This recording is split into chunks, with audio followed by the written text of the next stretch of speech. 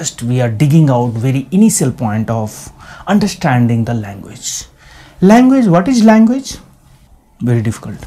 Anything if it will be asked in the form of questions, it will be difficult. What is man? Difficult to define. What is world? Difficult to define. What is life? Much difficult. Similar way, what is language? Language is medium to transfer non-materialistic thing.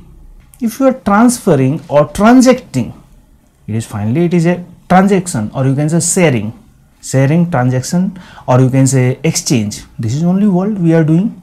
Now what I am doing? I am sharing my knowledge and experience with you. I am exchanging my knowledge and experience with you. Everybody is doing in different different way. We are exchanging the things either in the way of materialistic thing or non-materialistic thing if we are transfer the non-materialistic thing, then medium is called language. God language is, it is not defined because beyond God or understanding the God, we don't have capability because we are anyway. You can say God may be forefather or before forefather. Then we can't understand our forefather or before that. Then we can say it was a silence because based on the experience of few highly developed people we can say it was the complete silence. From silence only all sound has come. All once sound has come then we can say language has started.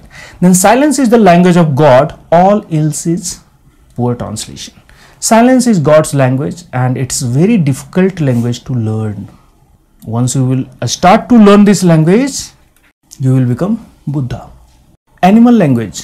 Then first thing is there before coming to the human language first we'll start to understand other languages other than human because they will use the inferior way of the language compared to human because human is the highest development developed body or highest developed animal. Animal language mainly visual communication they will do. They will not do well developed grammatical and alphabetical language. They will use mainly visual. Like if you will see any any animal cat dog if dog is very uh, like uh, very hung very hungry then they will start to move the tail. If he wants to love you then they will start to jump on your body. Means mainly they will give the visual signal. Based on that if you are able to understand then it is okay. Otherwise beyond that they don't have indications. Language is a kind of indications but human is much developed we have we have you can say special biological capability. We are able to speak properly in coherent and logical way with control of the tonality. Every animal don't have that capacity. Then they have only visual visual communications based on the species of the different different category like cat tail speak like this too.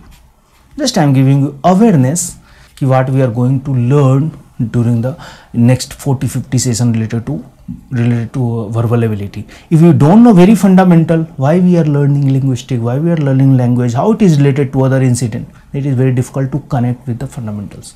Then animal also having certain language but mainly visual communication. What is plant language? That is not visual also it is mainly orientation based. It is mainly orientation based. Based on the orientation they will show i am in healthy condition i am feeling happy or uh, based on their orientation they will show I am in sad condition, I am facing some trouble. Then mainly they will show the orientation of their leaves, orientation of their trunk, orientation of their stem, orientation of their branches, size of their fruits. Based on that they will show and they will be able to express themselves. Other medium is not there. Other medium is not there. Like here very funny way it is given S, no, whatever, I wait your email different different you can say plant way orientation way or color way or different shape way we can just correlate with the language